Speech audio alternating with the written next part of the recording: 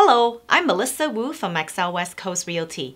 Today I want to talk about how to do a showing.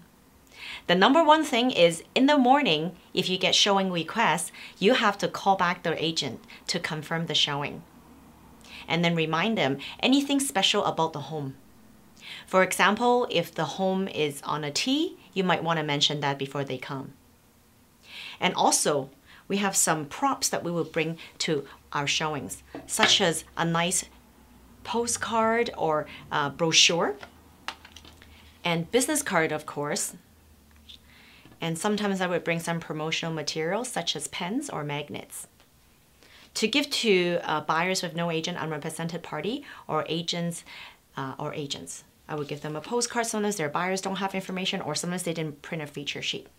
And another thing now I like really to bring is sometimes they ask me, how big is this room? How high is the ceiling? So what do you do?